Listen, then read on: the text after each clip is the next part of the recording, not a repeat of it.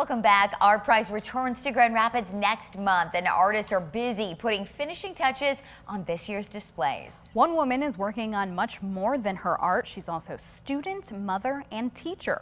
46-year-old Christina Hindley goes to GRCC full-time, is homeschooling her daughter, and will have an entry in Art Prize this year. The psychology student has created a sunset out of more than 14,000 quilled hearts. Wow, the artwork is called For the love of hope and harmony, Christina hopes it creates a sense of unity.